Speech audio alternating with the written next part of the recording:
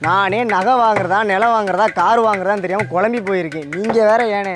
ஏப்பா இதுல குழம்புறதுக்கு என்ன இருக்கு? நிலத்திலேயே போட்டு விட வேண்டியதானே ஏனே அப்படி சொல்கிறீங்க இப்ப கார் வாங்கணும்னு வச்சுக்கவேன் கொஞ்ச நாளைக்கு முன்னாடி கார் வாங்கினவங்களாம் இப்போ நம்ம பார்க்குறோம் அதை செகண்ட் ஹேண்டில் வித்தாங்கன்னா அதை விட கம்மி விலைக்கு தான் போகுது. இப்போ நகையை பார்த்தோம்னு வைங்களேன் வாங்குறதே நிறைய நேரத்தில் வைக்கிறதுக்காக தான் அப்படி வச்சோம்னாலும் கம்மியான விலைக்கு தான் போகுது. ஆனால் அஞ்சு பத்து வருஷத்துக்கு முன்னாடி நிலம் வாங்கினவங்களாம் இன்னைக்கு தேதிக்கு விற்கிறதுக்கு போனால் கூடியில் கிடக்கு அமௌண்ட்டு அதனால தான் நிலத்துல போடுன்னு சொன்னேன்.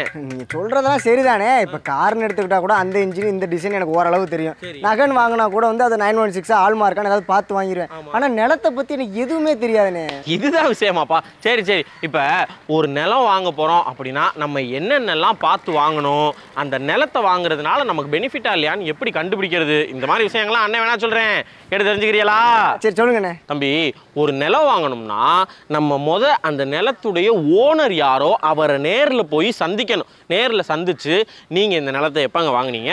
இந்த நிலம் எத்தனை வருஷமாங்க உங்கள்கிட்ட இருக்குது நீங்கள் ஏங்க இப்போ இந்த நிலத்தை விற்கணும்னு நினைக்கிறீங்க? அப்படிங்கிற விஷயத்தெல்லாம் நம்ம தெரிஞ்சுக்கிறணும் அப்புறமா நம்ம ஏன் அந்த நிலத்தை வாங்கணும் அப்படின்னு நினைக்கிறோம் அப்படிங்கிறதே அவங்கள்ட்ட சொல்லணும். ஏன்னா நமக்கு ஒரு தேவை இருக்கும். அதனால தான் அந்த இடத்துல அந்த நிலத்தை வாங்கணும்னு நம்ம நினைப்போம். இல்லாட்டி வேற எங்கேயாவது கூட வாங்குவோம். அதனால எனக்கு இந்த மாதிரிலாம் தேவை இருக்குது அதனால தான் இப்படி இருக்கேன் அப்படின்னு சொல்லி பேசி அவர் நம்மகிட்ட பேசுகிறத வச்சே அவர் கொஞ்சம் சரியான ஆள் தானா?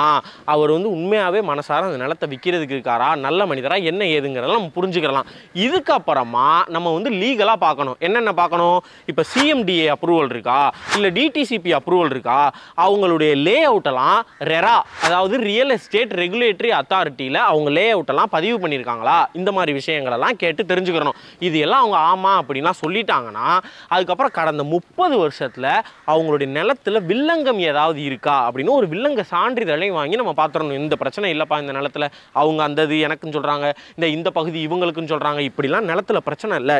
நீட்டாக இந்த அளவு இது இவருடைய இது அப்படின்ற மாதிரி இருக்குது இப்படிலாம் தெரிஞ்சதுக்கு அப்புறமா அவருடைய பட்டா யார் பேரில் இருக்குது சிட்டா யார் பேரில் இருக்குது நம்ம வாங்குற ஒரு பேரில் தான் இருக்கா? இல்லை வேற யாராவது பேரில் இருக்கிறத இவர் விற்க பார்க்குறாரா? அப்போ அவங்க திடீர்னு வந்துக்கிட்டு ஏன் நிலத்தை இப்படி நீ விற்பேன்னு கேட்பாங்கல்ல? இந்த மாதிரி விஷயங்கள் எல்லாத்தையும் டீட்டெயில்டாக நம்ம அனலைஸ் பண்ணிட்டு மூலப்பத்திரம் வரைக்கும் மூலப்பத்திரம் எல்லார்ட்டையும் இருக்குமான்னு தெரியாது. மூலப்பத்திரம்னா முத முத முத அந்த இடத்துக்கு போடப்பட்ட பத்திரம். அதுவும் இருக்கா இல்லையா? இது மாதிரி விஷயங்கள்லாம் பார்த்துட்டு ஒரு நிலத்தை வாங்கினோம்னா நம்ம வந்து அழகாக தப்பிச்சுக்கிறலாம். எந்த பிரச்சனையும் நமக்கு வராது. அடடா! நிலம் வாங்குறத பற்றி ரொம்ப அருமையாக சொல்லிட்டீங்க. சட்ட ரீதியாக நீங்கள் சொல்கிறது எல்லாமே சரிதானே? ஆனால் இப்போ இந்த நிலத்தை எங்கே வாங்குறது எப்படி வாங்குறதுன்னு எனக்கு ஒரு ஐடியாவே வர மாட்டேங்குதுண்ணே ஏப்பா அது உன்னுடைய தேவை என்னங்கிறது உனக்கு தானே தெரியும். இப்போ உனக்கு கல்யாணம் ஆயிடுச்சா? இல்லையே. நீ பேச்சுலரு ஆ ஆமாம் அப்பா அம்மா கூட இருக்க போற. ஆமாம் ஆஃபீஸுக்கு பக்கத்துல வேணுமா? ஆமாண்ணே பக்கத்துலேயே வேணும். இப்போ நிலத்தை வாங்கி நீ வீடு கட்ட போறியா? இல்லை சும்மாதே போட்டு வைக்க போறியா? கொஞ்ச நாள் கழிச்சு வீடு கட்டுவேன். இப்போ உனக்கு இந்த பதில் எல்லாம் தெரியுதுல?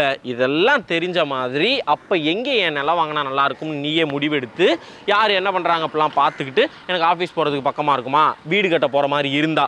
இல்லைப்பா நான் நிலத்தை வாங்கி சும்மா போட்டு வைக்க போகிறேன் ஜஸ்ட் அது ஒரு இன்வெஸ்ட்மெண்ட் அவ்வளோதான் காலகாலமாக எப்போ வேணால் அது வந்து ஏறிட்டு போகுது விலை ஏறிட்டு போகுது அப்புறமா நான் பார்த்துக்கிறேன். இப்போதைக்கு என்கிட்ட காசு கொஞ்சம் தான் இருக்குன்னா ரொம்ப அவுட்டரில் நம்ம நிலத்தை வாங்கி விட்டுறலாம். ஏன்னா காசு கம்மியாக தான் இருக்கும். ஆனால் காலம் ஆக ஆக ஆக அதுவும் மெயின் சிட்டியாக மாற வாய்ப்பு இருக்குது ஏன் அதை அண்ணன் சொல்கிறேன்னா இன்னைக்கு தேதிக்கு சிட்டியாக இருக்கக்கூடிய முக்கியமான இடங்கள்லாம் முன்னாடி ஒரு தடவை அவுட்டராக இருந்த இடங்கள் தான்.